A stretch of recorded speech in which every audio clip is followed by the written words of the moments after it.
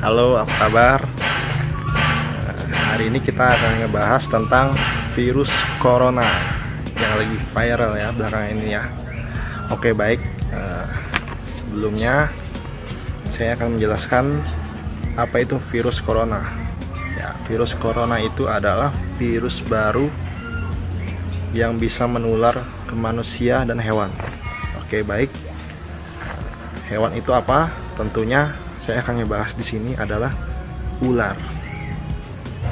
Nah, di berbagai sumber yang telah saya baca dan saya ketahui, katanya virus corona itu bisa menyerang manusia melalui ular.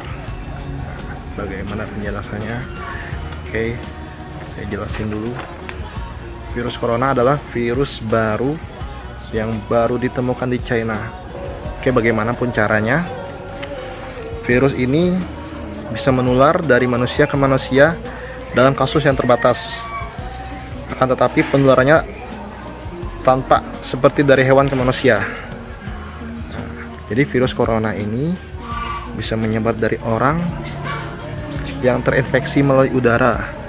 Seperti contoh, batuk, bersin-bersin, atau berjabat tangan, atau perantara benda yang kita pegang yang kemudian bisa menyentuh menyentuh mulut atau hidung.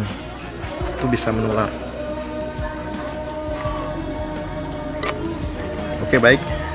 Untuk vaksin vaksin virus corona ini sementara belum bisa ditemukan atau belum ditemukan sama sekali. Saat ini tidak ada vaksin yang bisa mencegah virus corona ini adalah jenis virus baru yang sangat berpotensi berbahaya untuk seluruh manusia. Oke baik.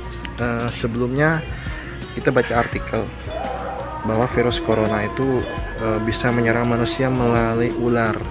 Bahkan ular peliharaan pun katanya bisa menularkan. Nah kebetulan saya juga penghobi reptil atau ular.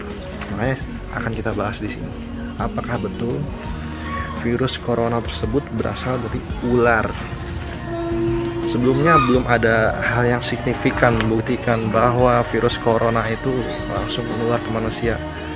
Apalagi banyak sahabat-sahabat kita, teman-teman kita yang uh, kiper ular, hobi reptil, pasti ini sangat mewaspadai dan merupakan ancaman juga sebenarnya kalau memang terbukti. Kita tunggu saja apakah virus corona bisa menyebar melalui hewan peliharaan seperti ular dan reptil lainnya. Kita nggak tahu. Belum ada bukti yang signifikan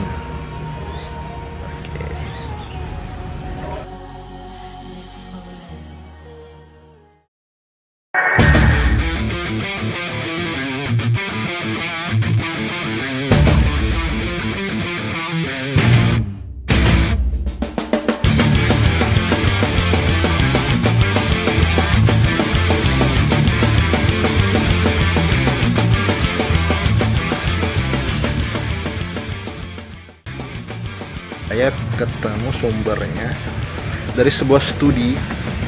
Oke baik saya bacakan.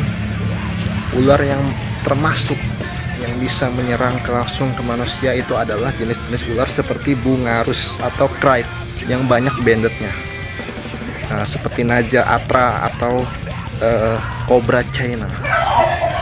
Oke saya bacakan. Studi ini juga menemukan bahwa hasil rekombinasi genetik 2019 garis NCOV memiliki perubahan dalam suatu protein virusnya yang mampu mengenali dan mengikat reseptor pada sel inang.